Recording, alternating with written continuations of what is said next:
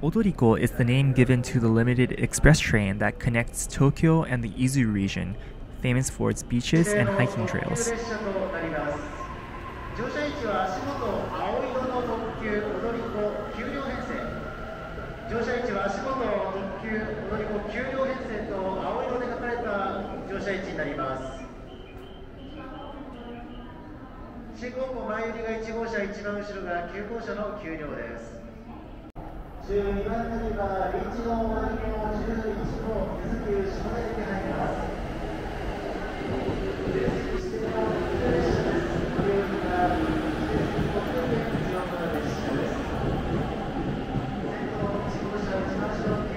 The odoriko comes in two different types. The standard odoriko, which I am about to introduce to you, and the Saphir odoriko, which only features premium class seating. Today, I will be taking the Odoriko train from Shinagawa Station in Tokyo to Atami Station in Shizuoka Prefecture. The standard Odoriko trains are operated on E257 series trains.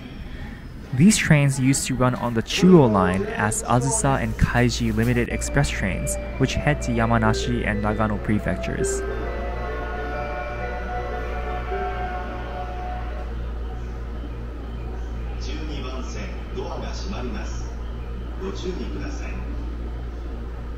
Please stand clear of the closing doors.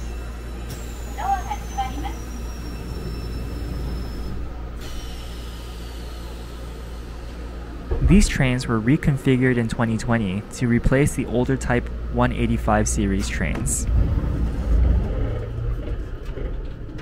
The seats have a nice turquoise colored design. This coloring pattern is supposed to represent the ocean surrounding the Izu Peninsula. With these buttons, you can adjust the reclining features of the seat. You can probably observe some weathering as these trains are not necessarily brand new. They have been in operation for about 20 years at this point. With the round button, you can lean further back into your seat, and with the rectangular one, you can slide your seat forward. There are also these lamps available above the seats. A green lamp indicates that the seat has already been reserved, and a red lamp indicates an unreserved seat. A yellow lamp indicates that the seat will be occupied in the following few stations. However, with less limited express trains with non-reserved seating nowadays, it might not be the most relevant function.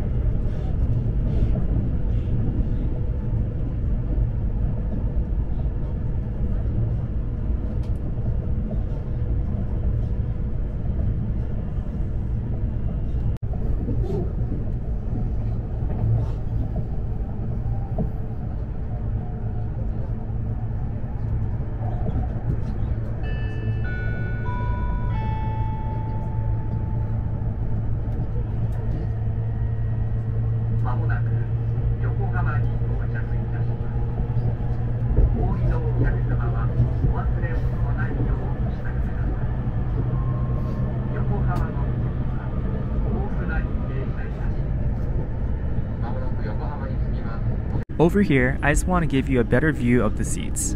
These seats are very typical on the JR East network, with many trains featuring seats with a similar design.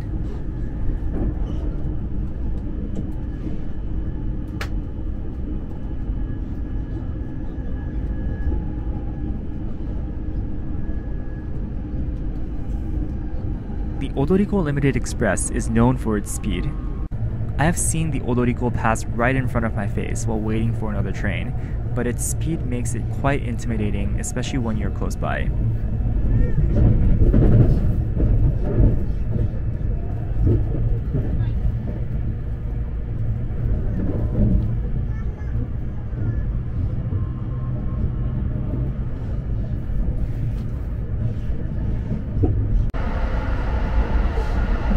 As we approach Odawara Station, you will be able to spot Mount Fuji in a couple spots.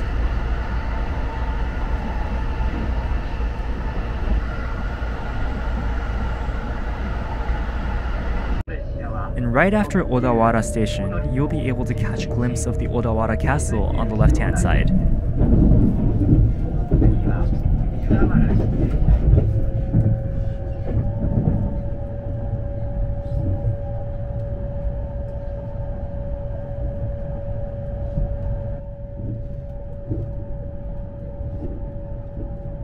All in all, I would recommend finding a seat on the left hand side of the train if you're heading westbound towards Izu, and the right hand side if you're heading eastbound towards Tokyo. This is because you'll be able to enjoy a great view of the ocean, especially if the weather is nice.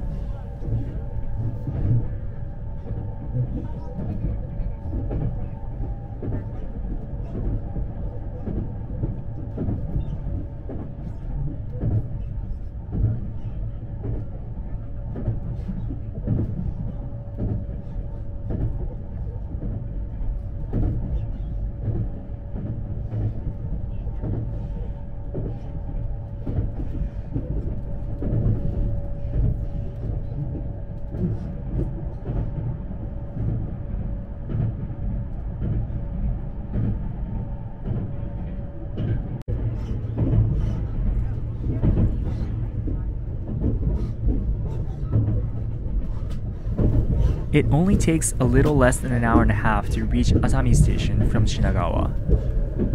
From Atami, the Odoriko usually splits into two segments. One segment will follow the Ito line down the eastern coast of the Izu Peninsula, while the other segment heads towards Shuzenji Station on the western side of Izu.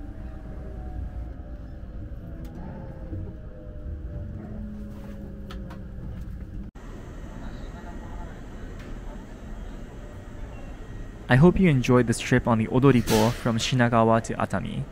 Make sure to hit the like button and I'll see you on my next trip.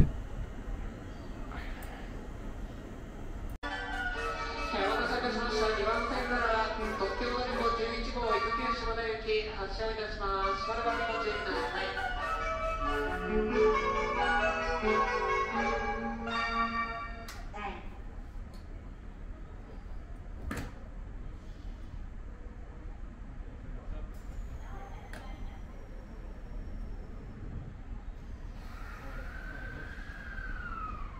2番坂ご注意ください。電車発車いしております。